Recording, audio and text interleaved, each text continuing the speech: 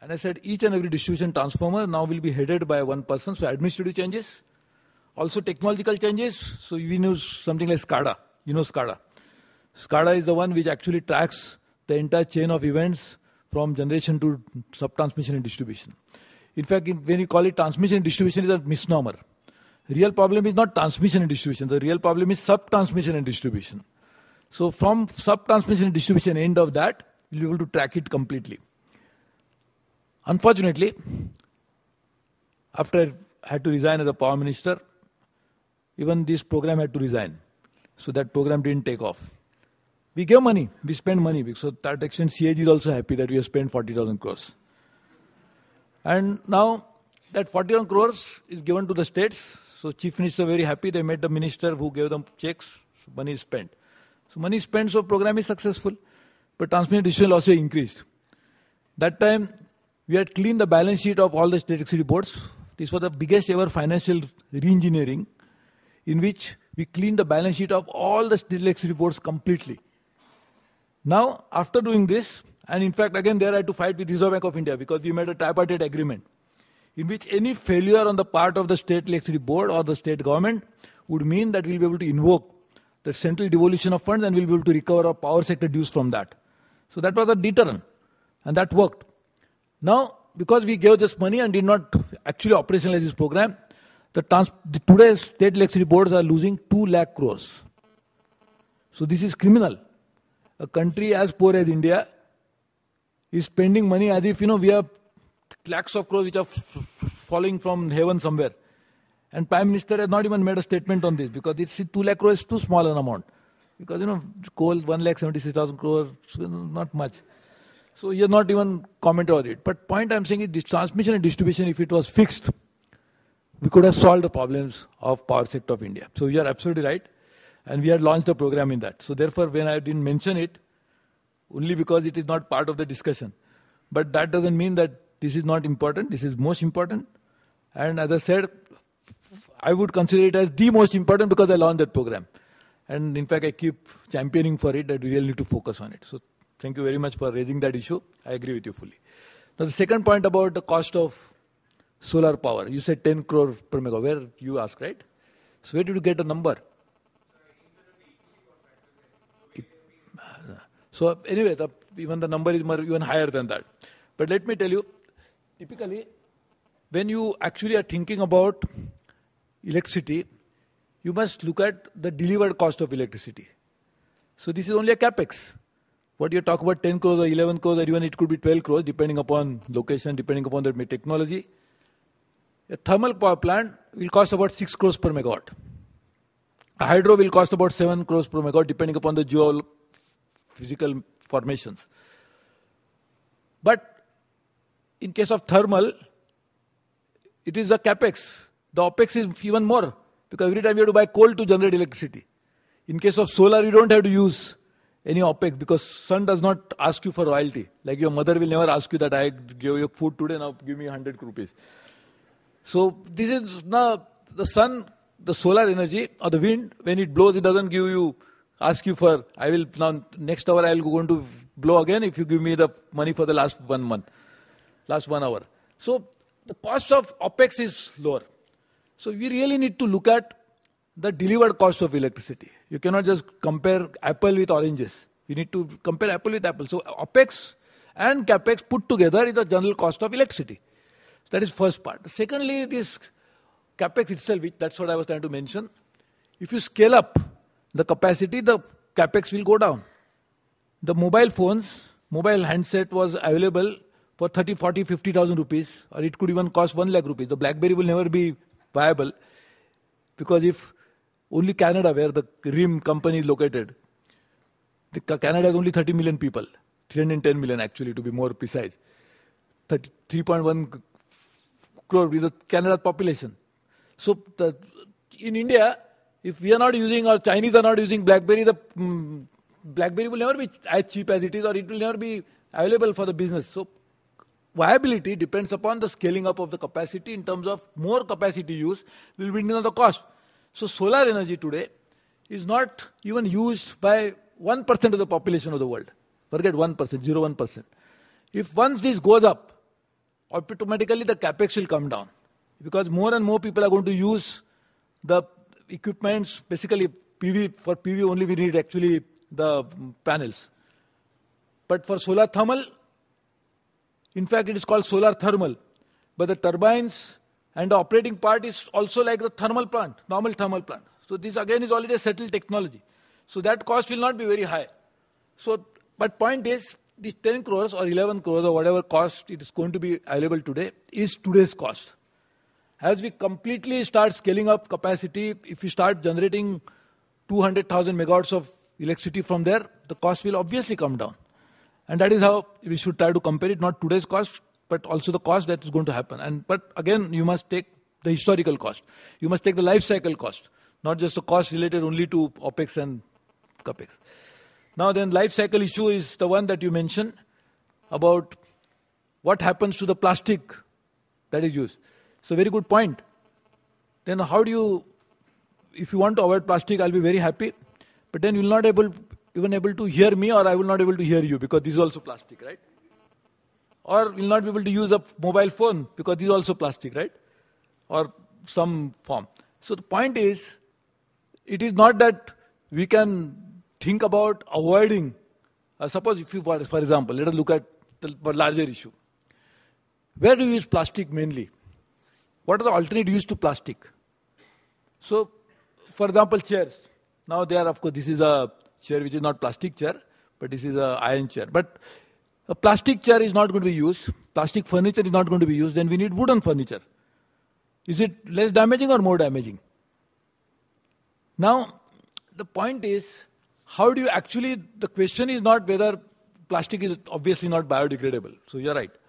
But point is, now the question is going to be first, the concept was that something is going to be born in cradle and then it is going to die in grave. Now the whole concept is changing in which we are saying that cradle to cradle, everything needs to be recycled for all times to come, including cars. Everything of in, that is going to be used in the car is going to be recycled. So that even not just plastic in the car, but also the metals in the car. And therefore recycling is going to be the new mantra.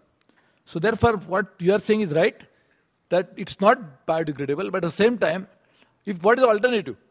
Alternative to this, so therefore we don't use solar. So what do we use? We can use coal. Is it a good idea to use coal? So what you know, basically the challenge of any management is how to not to avoid a problem, but how to minimize a problem from what if it is that big, how can it make it small? The HR manager will be trying to find out that if I don't sack the person, I have this problem. If I sack the problem, still there's a problem because people go on strike, but I'm now trying to reduce the problem. So therefore, any use of any material, this is a material handling, material management is going to be very crucial issue in the world to come, is going to be not that can each material be biodegradable. That is not possible. But how can we make less use of material? And that's how the nanotechnology comes into play. And even that is going to happen in case of solar panels. So therefore, how can you produce more with less input and the output will be far higher? One part. And secondly, how can be recycled? So that's a challenge.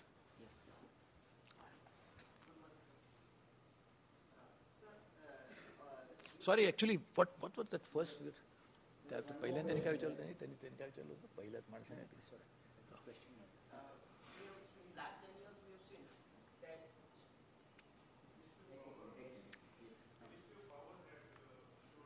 Can you speak little loudly? So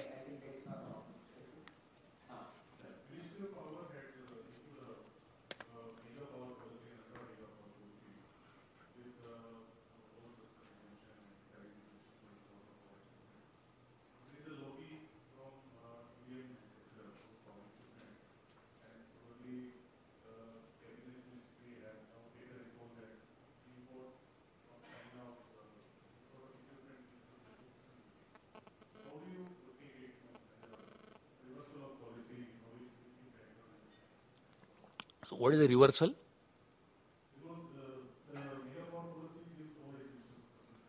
No, so what is the reversal? Sorry?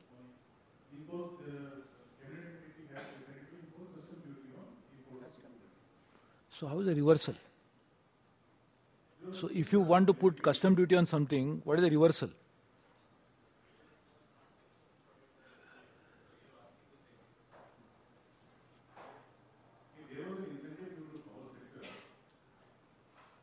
No, no. So if you want to put, anyway, I'll, I'll answer it. Okay.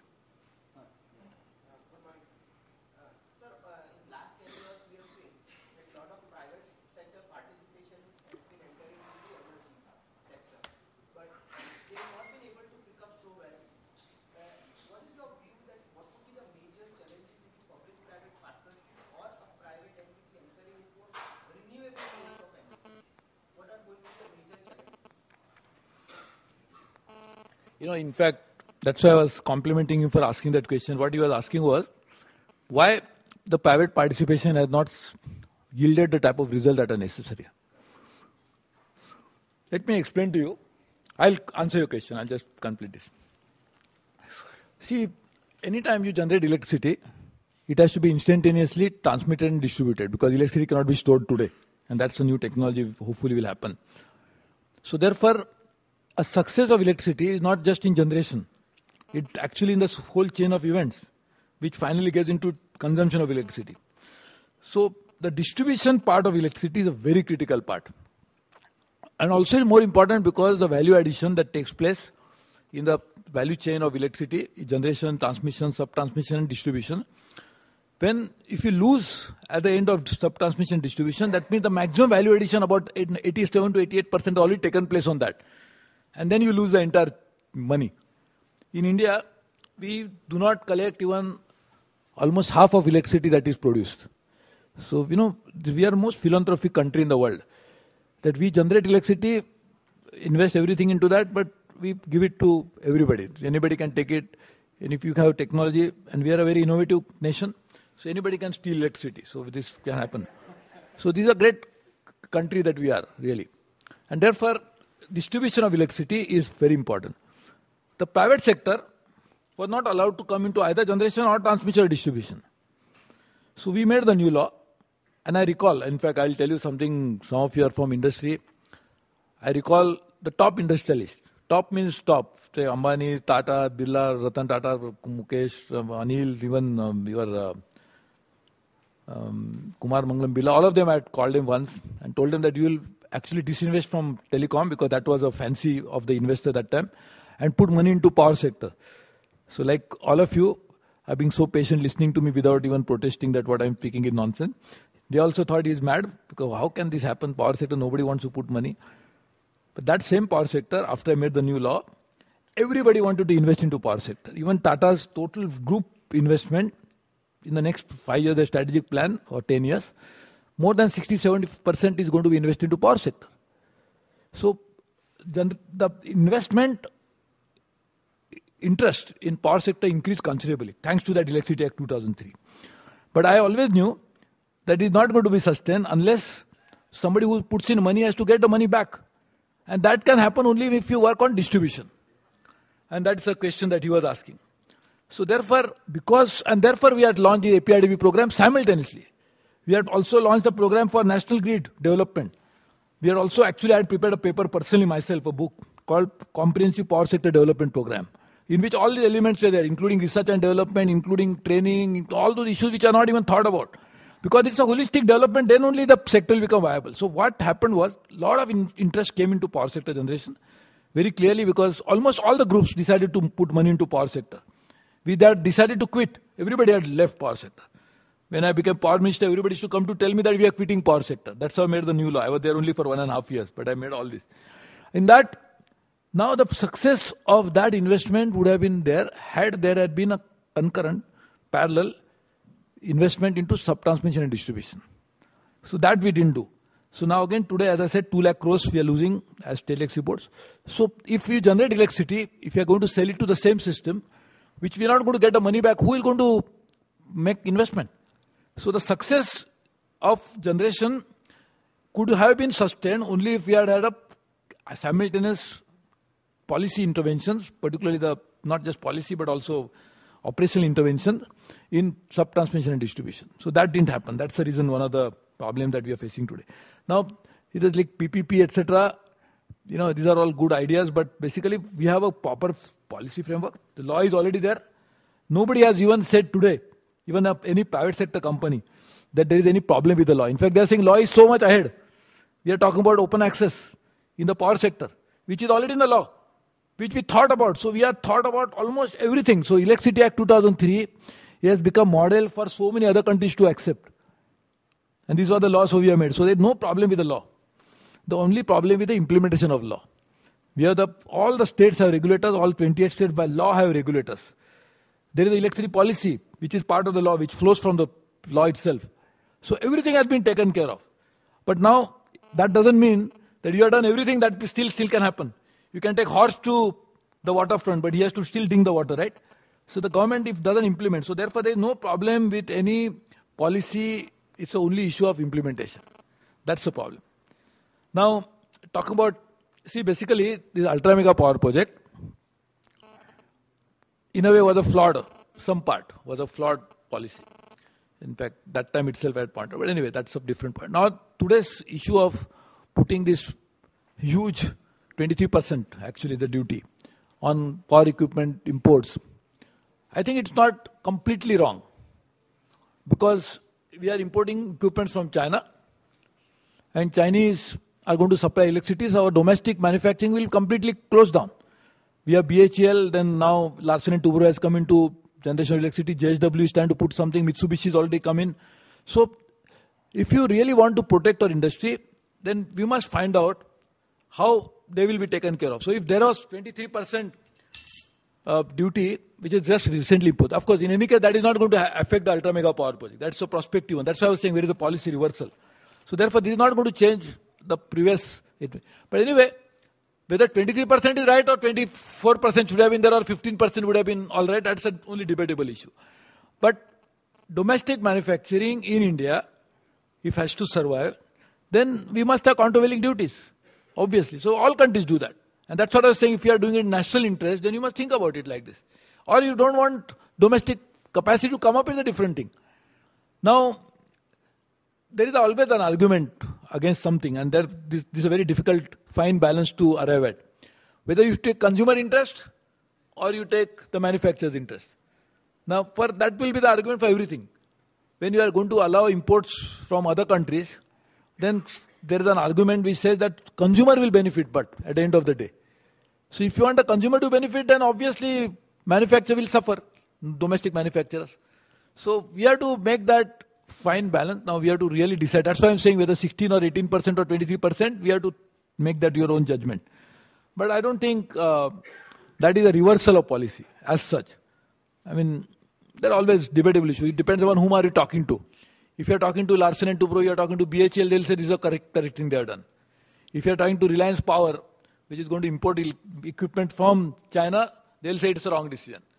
But if Reliance Power itself is going to manufacture capacity,